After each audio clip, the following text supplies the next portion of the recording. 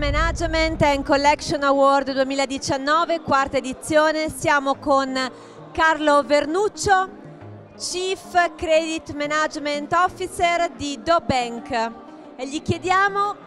che cosa significa questo premio di eccellenza. Allora, intanto ringrazio uh, tutti per avermi scelto e,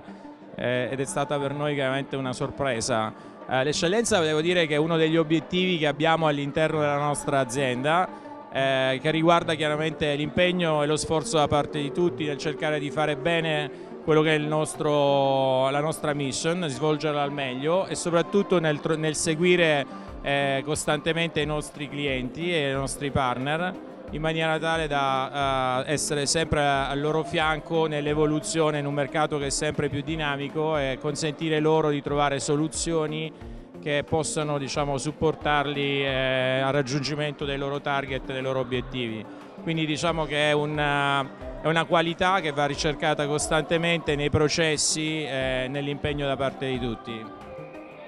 Chiediamo anche un commento al mercato degli NPL del 2018-2019, come è iniziato?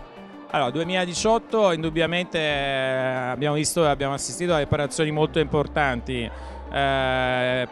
che hanno riguardato le principali banche, le, le prime 4-5 banche del paese. Eh, quindi hanno riguardato principalmente le cessioni di portafogli e operazioni che riguardavano le cosiddette GAGS, cioè le cartolarizzazioni con l'assistenza della garanzia statale agli inizi di marzo oh, questo schema sostanzialmente è scaduto e ci si augura che venga rinnovato, la probabilità che accada è molto elevata tra l'altro e sicuramente potrà essere di stimolo per l'anno 2019. Eh, dove però ritengo che una delle attività che verrà sviluppata molto di più e ci sarà un focus importante non è più sul settore degli NPL ma sul settore degli UTP, degli unlikely to pay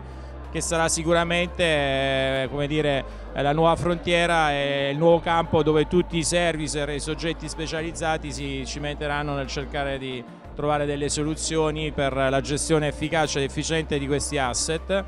che eh, non sono soltanto appunto come dei crediti defaultati ma sono dei crediti che riguardano aziende che sono vive, che, dove c'è un impatto anche eh, di tipo occupazionale eh, che non va trascurato e che indubbiamente è l'aspetto più interessante. Direi che questa è una nuova sfida che noi cercheremo di svolgere al meglio, comunque ci impegneremo, nostro, faremo del nostro meglio per, per essere eh, dire, protagonisti anche in quest'altra area. Grazie. Grazie a te.